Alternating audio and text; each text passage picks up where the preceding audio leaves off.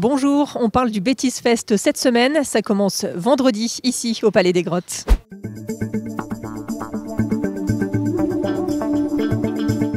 Le Bétis Fest revient donc euh, ce week-end. Yannick Prangère, l'un des organisateurs, bonjour. Bonjour Marine. Alors ce festival de musique fête cette année sa 21e édition. Quelle est la programmation prévue?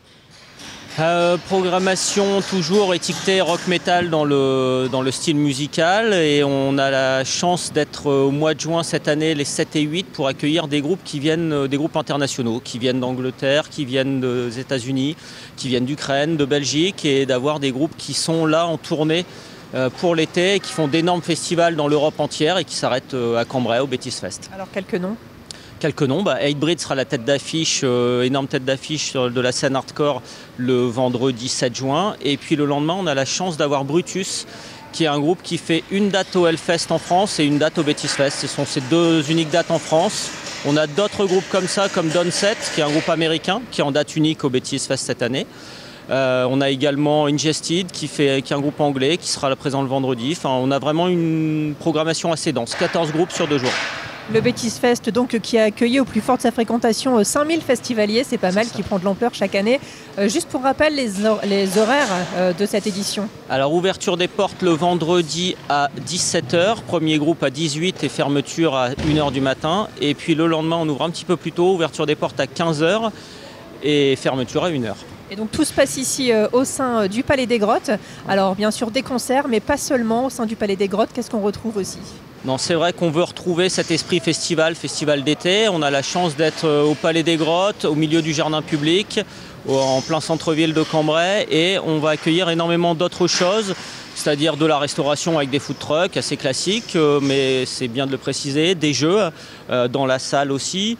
On va retrouver la possibilité de faire des visites des souterrains, qui est une spécificité liée au festival Alors et à ça, la c'est ville de Cambrai. un des plus en fait du Bétis Fest qui ne s'arrête pas à la programmation musicale finalement C'est et qui ça. offre la possibilité aux festivaliers qui viennent de loin d'ailleurs parfois. Ah oui, euh, oui, complètement. Il y a Betis 3-4 heures de route par, euh, sont tout à fait possibles pour que nos festivaliers viennent, euh, à Cambrai.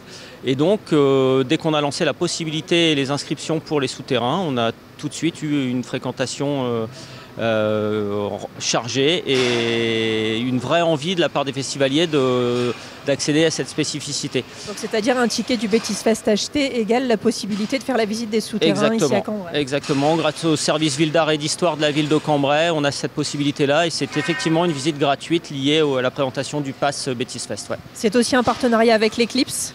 C'est un partenariat, un partenariat bah, bah, effectivement avec Eclipse parce que les, les jeunes des ateliers musique seront présents le samedi euh, avec deux sessions pour présenter les ateliers et la musique qui travaillent à l'année en format groupe.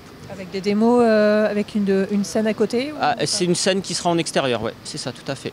Et puis aussi, euh, bien sûr, euh, le Bétis Fest, c'est aussi euh, tout ce qui est logistique, tout ce qui est montage, qui est d'ailleurs en cours là derrière nous, trois jours de montage intense, ça. qui se fait aussi cette année avec des jeunes d'un lycée professionnel cambraisien. C'est ça. On est dans les coups de marteau et effectivement, il y en a certains qui sont faits par le lycée Blériot qui nous donne un coup de main sur le- les installations, entre autres des loges. Et là-dessus, c'est vraiment un super coup de pouce et un vrai partenariat qui se, qui se met en place depuis quelques années. Eh bien, merci beaucoup Yannick. Et pour conclure, on rappelle pour prendre son billet pour assister au Bétis Fest, comment faire? Est-ce qu'il y a une billetterie en ligne ou est-ce que c'est sur place? Il y a une billetterie en ligne, euh, betisfest.info, et sinon, il y a une billetterie sur place également. Et les Ouais. tarifs? On est à 33 euros la journée de vendredi, 30 euros le samedi et 52 euros le passe de jour. Très bien, merci beaucoup Yannick Merci et à bon toi. festival. Merci. À la semaine prochaine sur le Cambrésilien TV.